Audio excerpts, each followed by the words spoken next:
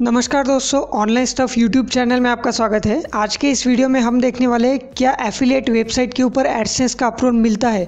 और अगर मिलता है तो किसी भी नॉर्मल वेबसाइट की तरह उसके ऊपर एडसेंस अप्रूवल कैसे ले?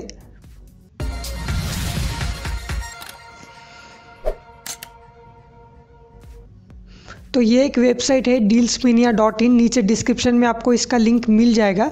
इस पर सारे जो प्रोडक्ट्स हैं, वो अमेज़ोन से इंपोर्ट किए हुए हैं। ये एक अमेज़ोन एफिलेट वेबसाइट है।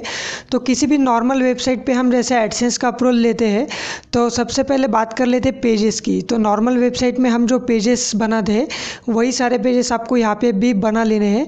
जैसे कि अबाउट अस पेज हो गया तो अबाउट अस में आप अपने हिसाब से कुछ भी लिख सकते हैं, लेकिन अगर आप एफिलेट से रिलेटेड लिखे, जैसे कि यहाँ पे जो प्रोडक्ट्स लिस्टेड है, वो सारे अमेज़ोन से इंपोर्ट किए हुए हैं और ये वेबसाइट कमीशन बेसिस पे चलती है। अगर आप ऐसा एफिलेट रिलेटेड कोई यहाँ पे लिखे तो वो बेटर रहेगा। उसके बाद है कॉन्टैक्टस पेज तो कॉन्टैक्टस पेज में आप खाली कॉन्टैक्ट फॉर्म भी ऐड किया तो भी चलेगा। बाकी चीज़ें लिखने की ज़रूरत नहीं है।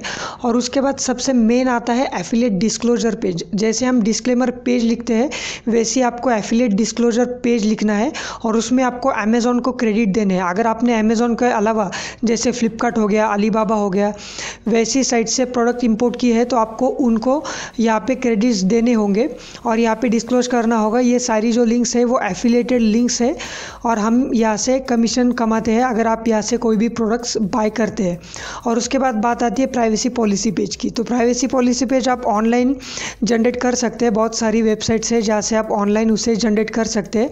लेकिन उसमें एक चीज़ आपको ध्यान में ये रखनी है कि इमेजेस और जो प्रोडक्ट्स है उनका आपको वहाँ पे डिस्क्लोजर करना है। जैसे कि वेबसाइट पे सारी इमेजेस और प्रोडक्ट्स है, वो रिस्पेक्टेड ओनर्स को बिलोंग कर दिया है। हम उस पर कोई भी कॉपीराइट क्लेम नहीं करते हैं।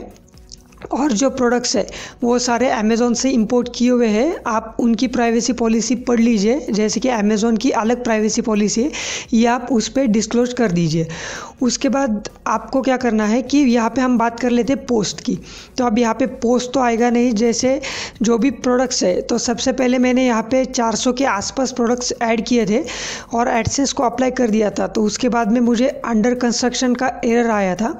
तो उसके बाद में मैंने लगभग उतने ही प्रोडक्ट्स और ऐड किए और एडसेंस को अप्लाई कर दिया था। फ़िलहाल इस वेबसाइट पे 1200 के आसपास प्रोडक्ट्स अवेलेबल है।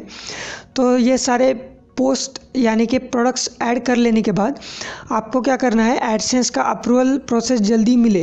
इसके लिए आपको गूगल सर्च कंसोल में भी आपका साइट सबमिट कर लेना है और वहाँ पे आपको साइट मैप भी सबमिट कर देना है सर्च कंसोल में और उसके बाद आपको एडसेंस को अप्लाई कर देना है। अगर फ़र्स्ट अटैम्प्ट में आपका एडसेंस अप्रूव हो गया तो अच्छी बात है। अगर अंडर कंस्ट्रक्शन का एरर आया तो वो भी आप सॉल्व कर सकते हैं बड़ी आसानी से। तो जैसे कि आप यहाँ पे देख सकते हैं एडसेंस को अप्लाई करने के बाद मुझे यहाँ पे इस वेबसाइट पे एडसेंस का अप्रूवल मिल गया था। और सबसे आखिर में बात कर लेते हैं थीम की। तो एडसेंस अप्रूवल में आपको थीम का कोई भी असर नहीं पड़ने वाला है। आप कोई भी एफिलेट थीम यूज़ कर सकते हैं। मैंने इस वेबसाइट पे जो थीम यूज़ की है, वो है rehab theme price comparison and affiliate theme अगर आप इसे डाउनलोड करना चाहते हैं, नीचे डिस्क्रिप्शन में इसका लिंक मिल जाएगा। जीपीएल लाइसेंस वाली थीम रहेगी। तो इस तरीके से आप एफिलेट वेबसाइट पे एडसेंस का अप्रूवल लेके एडसेंस प्लस एफिलेट से दोगुनी अर्निंग कर सकते हैं। अगर आपको इसके रिलेटेड कोई भी डाउट है तो आप नीचे कमेंट बॉक्स में कमेंट कर सकते हैं। और अगर वीडियो पसंद आए तो वीडियो को लाइक करिएगा और चैनल को सब्सक्राइब करना मत भूलिएगा।